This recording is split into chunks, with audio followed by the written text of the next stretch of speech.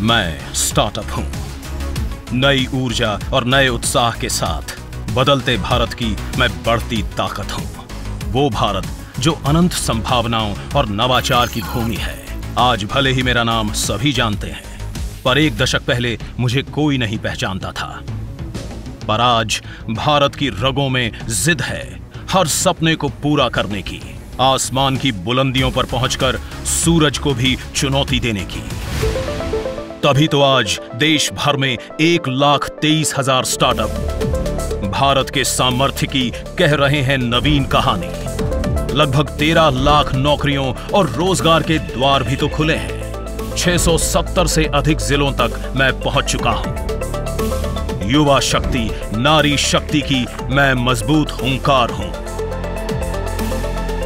भारत के tier two और tier three शहरों में भी मैं आसमान छूने की जिद लिए नई ऊर्जा के साथ धड़क रहा हूँ। स्टार्टअप इंडिया की यात्रा बहुत ही प्रेरणादायक रही है। वर्ष 2016 में स्टार्टअप इंडिया लॉन्च हुआ और स्टार्टअप इकोसिस्टम को बूस्ट करने के लिए फंड ऑफ़ फंड्स योजना शुरू हुई।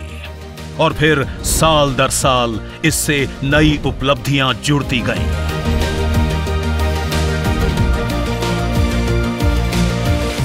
साल 2024 में डिजिटल मैप्स की शुरुआत हुई। अभी हाल ही में भारत स्टार्टअप इकोसिस्टम रजिस्ट्री, यानी भास्कर की शुरुआत हो चुकी है, जिसके माध्यम से स्टार्टअप इकोसिस्टम में विविध प्रकार के स्टेक होल्डर्स को एक साथ लाया जाएगा।